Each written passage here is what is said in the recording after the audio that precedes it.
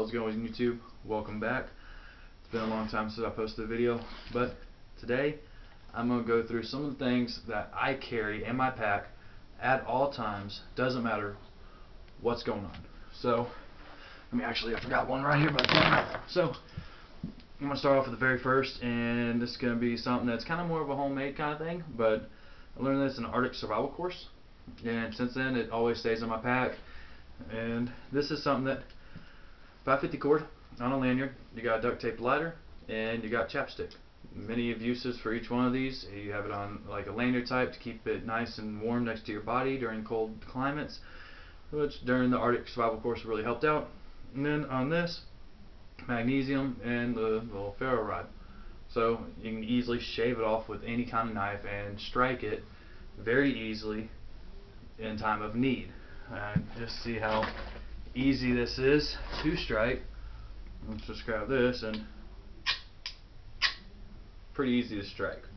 So, it's my number one, super lightweight, but it'll get me out of an emergency if need be. And I mean with that, I don't even bring tinder or anything like that because I can gather it all right there where I'm camping at when I'm when I'm in the backcountry. So that covers it. Doesn't matter how wet it gets, it still works. Next item I'm going to move on to is, since we're talking about knives and everything else, this is my Gerber LMF2. It is a little heavy, but I do carry this especially, not really much on day hikes or day day hunts, but on over weekend hunts or week-long hunts, something that I know I'm going to need to be splitting some firewood or something like that, uh, or potential have a chance to get lost, which will never happen, carry this. I have a whole review about it. Great knife. Go check it out. Um, more for my, I carry in every type of hunt. This always goes in my bag. I am a trapper, so I know the name Wiebe. Any other trappers will know the name Wiebe. Great skinning kit. You have your big knife with the gut hook. You, you have your smaller knife, little serrated edges, everything else, and then over here you have your bone saw, and on this other side you have the more traditional fleshing knife with the gut hook. Very, very highly recommended. I've used them for years, never had issues with Wiebe. They'll always have my repeat business. But that's why I carry for my skinning kit.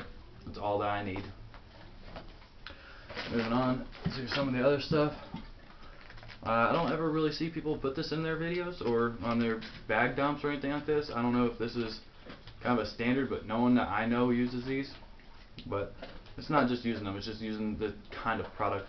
And that is the Rem oil gun wipes. If you're out on a backcountry hunt, and typically I'll even carry like a bore, a, a, a bore snake, but that gun, that firearm is going to be the whole sole purpose behind the hunt. If you don't have a firearm, you don't have an operational firearm, you're not going to be able to hunt.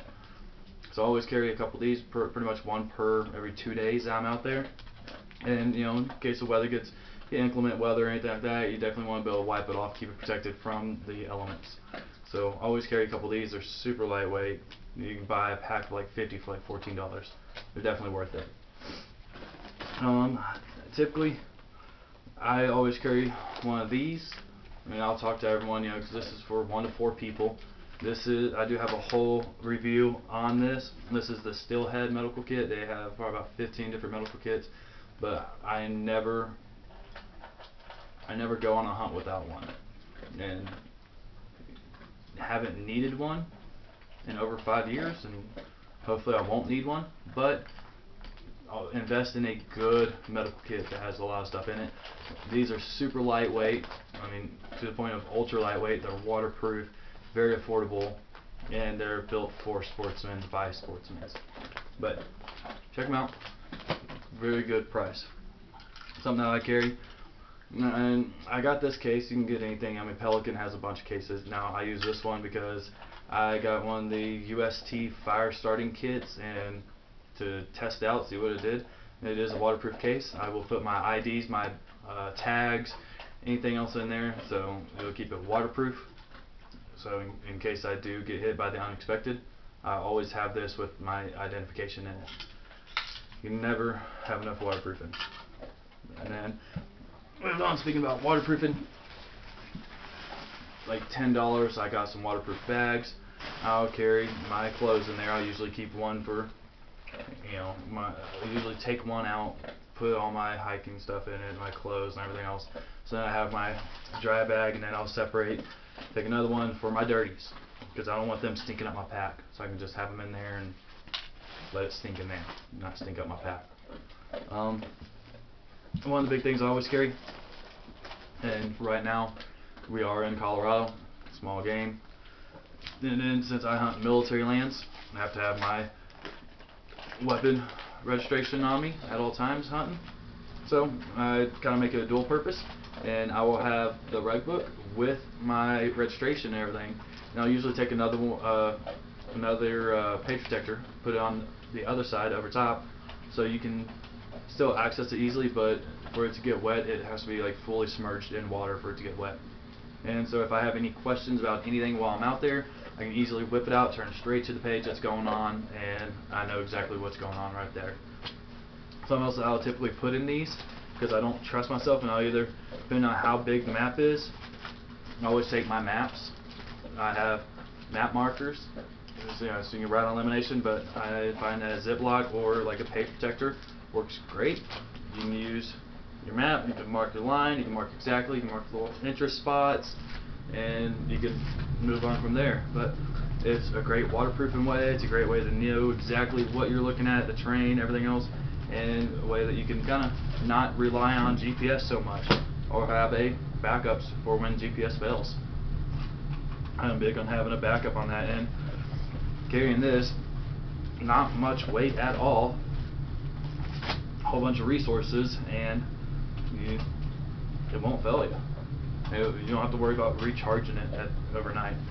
And then last but not least, because food is very important and water is very important, I don't ever go anywhere without my JetBoil. I have a great review on this. I even have how to pack it properly because I have all of the accessories that you can get for a JetBoil.